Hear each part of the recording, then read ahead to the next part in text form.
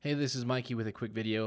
Uh, a few days ago, I, I, talked about the release of Polytrace. Um, it's coming up soon. We're doing the early bird sign up, so make sure you sign up to get the 43% off.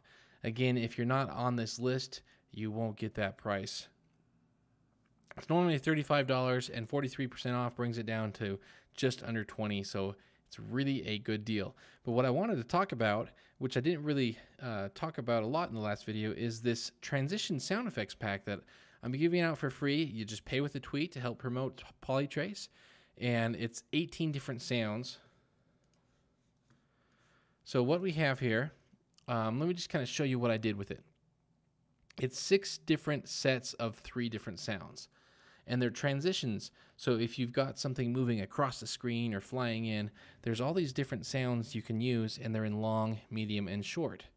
So that way, if it's a long movement or a quick movement, you have the different sounds to fit with it. So let's just preview some of these. There's the long version, medium, and short.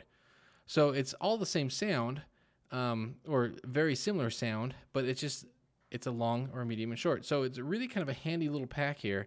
Um, 18 different sounds, giving it out for free when you pay with a tweet. So go check that out. Um, and make sure that you sign up for the early bird list and then tweet this out and get this for free. Just go to cinemaspice.net slash polytrace. Thanks for watching.